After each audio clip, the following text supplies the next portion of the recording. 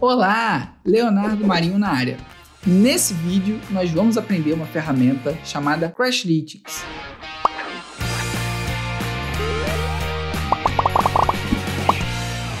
Basicamente, Crashlytics serve para a gente conseguir rastrear, monitorar e gerar relatórios de erros e exceções em nossos aplicativos. Nesse vídeo, vou ensinar em Flutter, que é meu queridinho, e a gente vai continuar a série de Flutter com Firebase, que já temos gravados aqui.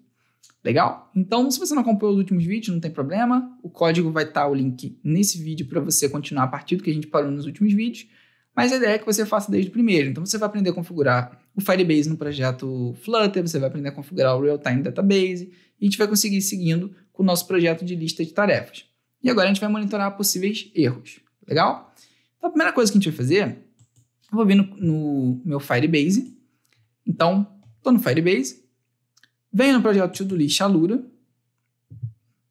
Vou abrir a parte Crashlytics, que eu já estava antes, mas fiz o caminho só para você ver como que é.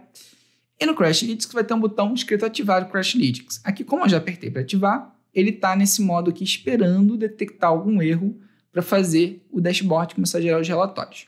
Legal? Então, a parte do Crashlytics que a gente tem que fazer no, no console Firebase é só essa. E agora a gente vai para o Flutter. Então, no Flutter, acesse o site firebase.flutter.dev. Esse site é uma documentação é, de vários plugins que existem de Flutter para se comunicar com o Firebase. Bacana? Então, dentre as soluções, nós temos aqui Crashlytics na tela. Show? Então, vou apertar em Firebase Crashlytics. Ele leva a gente para o GitHub. Não é o que eu quero. Então, vou fechar, vou voltar. É, vamos na documentação. Agora eu estou onde eu quero. Cada documentação do Flutterfire, ele tem todas as extensões documentadas nesse menu lateral esquerdo. Então a gente desce e aperta em Crashlytics no menu. E a primeira opção vai ser em Overview. Legal? Então está aberta a parte do Crashlytics. Aqui tem uma explicação de leve do que ele faz, tem um vídeo bonitinho e tal, mas não vou rodar aqui na aula isso. Se você quiser, pode assistir, recomendo. E na instalação é onde a gente está interessado. Vamos copiar o Firebase Crashlytics nessa sugestão aqui de instalação do PubSpec.yaml. Vamos voltar no IntelliJ IDEA e eu vou colar essa declaração de, de extensão dentro do PubSpec.yaml embaixo da declaração do Firebase Database, lá na parte de dependencies. Legal? Então, vou dar um pubget e vou esperar ele baixar. Enquanto isso, ele baixa a dependência, Vamos descendo lá na documentação, então volta para o navegador. Vamos descer um pouco mais na documentação do Crashlytics para Flutter e vamos ver que, olha só, tem uma configuração que a gente tem que fazer no arquivo build.gradle na pasta Android. Eu vou selecionar vou copiar. Então, vou lá na pasta Android, volto para o IntelliJ, né? Vou lá na pasta Android, vou em build.gradle, que está na altura da pasta Android. Nós vamos adicionar o que a gente copiou dentro da parte de dependencies. Legal? Então, colo nas dependencies e salvo. Volta para a documentação. vai documentação, vai código, documentação, código. Vida de programador é assim. E vamos descer então, vamos copiar agora o que a gente vai declarar lá no arquivo Android, é, no arquivo build.gradle, que está na pasta Android e app, né? Pasta app. Então vamos lá, pasta Android, pasta app, arquivo build.gradle. Abri ele e na seção onde tem os applies, que fica mais ou menos na linha 24, 25 do arquivo, a gente cola embaixo do Google Services. Legal? Aquele Google Services que a gente declarou lá no primeiro vídeo quando configurou o Firebase com o Flutter. Ufa, foi. Então a parte Android está configurada. Vamos apertar em Next Step no final da página, né? Então a gente pula aqui para a parte de Usage, como que a gente usa o Crashlytics no projeto. Então a gente consegue detectar dois tipos de exceções: exceções de aplicativo e sessões de comunicação web. A exceção de aplicativo pode ser acabou a memória RAM do, do sistema operacional, do, do, celular, do dispositivo móvel geral, pode ser tablet, né? acabou a memória RAM, ou o disco está cheio, ou tem uma incompatibilidade entre o sistema operacional e o aplicativo. Enfim, exceções que podem acontecer envolvendo o funcionamento do aplicativo com é, o hardware ou o sistema operacional. Isso é a exceção de aplicativo. E tem as exceções de comunicação, que são, por exemplo, estou é, sem internet preciso enviar um dado para o Firebase, que é o que a gente vai fazer agora, com real time, né? Então vamos ver como é que é a diferença disso, como que a gente pega esses reportes de erro. A diferença basicamente é a seguinte: o Flutter monitora exceções de aplicativo E sessões de comunicação, não. Fica por nossa conta para a gente conseguir registrar isso, tá? Até porque sessões de comunicação não são bem erros. São comportamentos que não são o que a gente esperava, mas são comportamentos. Diferente é, de sessão de aplicativo que realmente é um erro que para a aplicação toda e é fatal e parou tudo, né? Essas o Flutter detecta. Então, vamos descendo nessa parte de usage. Vamos descendo, vamos descendo. Tem uma seção aqui bem bacana chamada Handling Uncount Errors. Basicamente, ela ensina como que a gente configura o Flutter para o Crashlytics ser avisado sempre que o Flutter detectar um estouro de erro, alguma coisa que deu errado. Então, copia essa linha flutter error.onError, né? E vamos lá no arquivo main.dart. E eu vou colar ela dentro do main.dart, embaixo de tudo que a gente já tinha feito, que estava declarado. Deixa eu fechar o menu lateral. Que estava declarado aqui no, no método main. Show? Vou dar dois cliques em cima do Firebase Crashlytics e vou mandar importar. Então, ó, já está importado bonitão aqui. E agora o Flutter, quando rodar, vai estar tá monitorando e se ele detectar algum erro, ele já passa direto lá para o Crashlytics. Show? Vou fechar as abas que estavam abertas de build e de PubSpec para facilitar a gente trabalhar aqui. E agora a gente precisa resolver essa questão do dashboard do Crashlytics. Ele está guardando uma exceção para poder começar a gerar o dashboard. Como que a gente cria essa exceção? Cai na documentação, agora se a gente subir um pouco, é, ele dá um bizu, ele dá um macete aqui de como que a gente pode estourar uma exceção forçada. Então, se a gente usar firebase crashlytics.instance.crash, ele vai quebrar a aplicação, ele vai dar erro. Então, vamos forçar esse erro para testar se a comunicação entre o nosso aplicativo e o Crashlytics está funcionando legal. Então, eu vou na tela To Do List Screen, lá onde tem o Floating Action Button, lá bem no final do arquivo, que é aquele botão flutuante de adicionar a tarefa, antes do método addTask, eu vou colar esse código do Crashlytics Instance Crash. Vou dar dois cliques nele, vou na lâmpada, mando importar na classe, e beleza, Crashlytics está importado na To-Do List Screen. Salvei, e agora eu vou dar play para rodar o código no emulador e a gente consegue testar. É, quando a gente apertar o botão, ele vai ter que estourar um erro. Então dei play aqui e vou esperar ele terminar de executar no emulador. Pronto, terminou de rodar o código. Então, vamos olhar o emulador como é que tá. E temos aqui o nosso to-do list. Legal? Só apertar cá no botão de adicionar a tarefa, tem que quebrar tudo. E o que, que eu vou fazer? Vou deixar já o dashboard do Crashlytics aberto no, no fundo ali. Então, vamos ver se ele vai detectar a mesma quebra do erro ou não. Show? Apertei, a aplicação quebrou. Mas lá ainda não detectou. Então, o que, que pode ter acontecido? Ó, o celular está conectado no Wi-Fi, o smartphone. É, vou apertar no to-do list novo, vou abrir o aplicativo novamente para ver se ele sincroniza. E paralelo a isso, se a gente olhar cá no, no console, olha só, ele já detectou uma fatal exception, tá? Então foi uma exceção fatal que fechou o aplicativo e basicamente está dizendo que, ó, this is a test crash caused by calling.crash in Dart. É, este é um teste de quebra causado pela chamada .crash no Dart. Então, ele já entendeu esse erro. Quando a gente volta lá no Crashlytics, eu dei um tempinho justamente para dar tempo dele carregar, né? É, leva um tempinho entre esse envio e tal. Está aqui que teve uma falha. E se a gente abrir a falha que teve, ele vai dar para gente exatamente aquela mensagem que teve lá. Ó. Cadê, cadê? Ó, esse é um teste de crash causado pelo Crash in Dart. Então a gente já sabe que está funcionando, que o Crashlytics está monitorando as quebras do aplicativo. Show? Então, beleza. Agora vamos fazer uma coisa diferente. Agora vamos tentar uma exceção de é, comunicação. Então, olha só. Cadê, cadê, cadê? Vou subindo no código. Deixa eu pesquisar aqui, fica mais fácil. Database reference e eu quero esse cara aqui. Beleza. Eu quero lá no Elevated Button, onde tem um salvar, o código que a gente envia uma tarefa para o Firebase, legal? E que vamos testar o seguinte, e se não tiver internet, ou se não tiver chegado lá no Firebase, ou se o link estiver errado, o que a gente faz?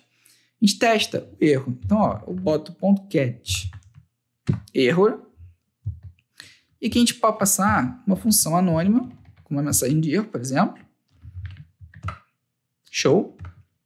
E dentro dela a gente coloca Firebase, Crashlytics, instance.set custom key. Então, por exemplo, a gente pode setar uma chave customizada para lá no relatório de erro a gente ter mais informações de qual erro que aconteceu, o que a gente está lidando. Então, por exemplo, eu posso colocar aqui local, qual foi o local da aplicação que esse erro aconteceu, por exemplo, e foi dentro do add, ou melhor, foi dentro do método add task. Foi no método de adicionar tarefa. E agora a gente chama lá Firebase. Gente fala, olha só, Firebase crashlytics.instance. E agora a gente tem que salvar esse erro lá. Record error. E aqui a gente pode passar o erro propriamente dito, que é a variável que está vindo da exceção. E a stack a gente pode passar como nula mesmo. A gente não está registrando nada da stack do ambiente que a gente está trabalhando agora. Legal? Salvei. E vou também fazer uma coisa legal aqui para a gente poder ver no console o erro acontecendo. Então vou dar um print, colocar aqui uns joguinho da velha. Hoje em dia é hashtag, tá chique. Quando eu era criança era joguinho da velha. Não que seja velho. print. E vou mostrar o erro embaixo desse monte de joguinho da velha aqui, só para a gente poder é, ver melhor no terminal o que está acontecendo. Bacana? Então agora a gente consegue fazer um teste. Só que assim, não vai estourar erro, porque está tudo certinho, né? A conexão com o Firebase está funcionando, está tudo certo. Então a gente tem que forçar um cenário de erro. Então, vou subir, subir, subir, subir, subir, subir a montanha, subir, subimos. Lá em cima na declaração do Database Reference, onde a gente seta a URL do banco de dados no Real-Time Database do Firebase, o que, que eu vou fazer? Eu vou comentar essa linha e vou colocar uma URL falsa.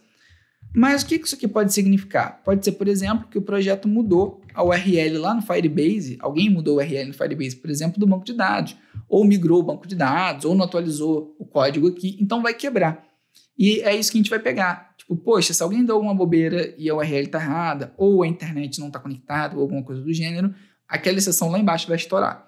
E aí, a próxima vez que o aplicativo for aberto, não acontece na hora o registro, o aplicativo tem que abrir novamente para o relatório ser enviado. Essa é a regra do Crashlytics no Flutter, né? É, tá lá na documentação, depois se você quiser dar uma olhada. Então, basicamente, o erro vai acontecer e a próxima vez que o aplicativo fechar e abrir, ele vai enviar lá para o relatório de erro. Então, salvei aqui, vou mandar executar o aplicativo para a gente fazer um teste. Legal, o código rodou. Se a gente ver, vier aqui, o aplicativo está aberto. Só que, ó, o console já está estourando um monte de coisa aqui, né? Tá me xingando aqui até dizer chega. É, basicamente, ele está reclamando ó, que tem um Firebase Database URL especificado errado. Então, quer dizer, ele tentou buscar os dados lá do, do Crashlytics e já não achou. Só que assim, ele não vai registrar no Crashlytics esse erro que está aparecendo no console, porque ele foi disparado na hora que a gente obtém os dados. E não na hora que a gente efetivamente está é, tá enviando os dados que a gente colocou. Então, por exemplo, quando rola o Selected Day, Ó, vamos visitar os métodos aqui. Que ele vai lá no Crashlytics né, e busca um snapshot, é aqui que está estourando aquele erro, porque ele não está achando o banco de dados no Crashlytics. Só que a gente não colocou aqui, no Crashlytics não, perdão, no Real-Time Database. Só que a gente não colocou aqui uma chamada ao Crashlytics para registrar esse erro. Então, isso aqui não vai ser pego.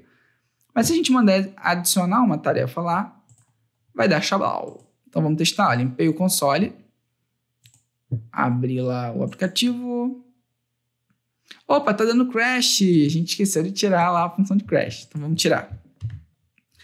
Ponto crash. A gente esqueceu de tirar o instance crash. Legal? Tirei o instance crash. Posso mandar o aplicativo rodar de volta. A gente vai ver a coisa acontecer.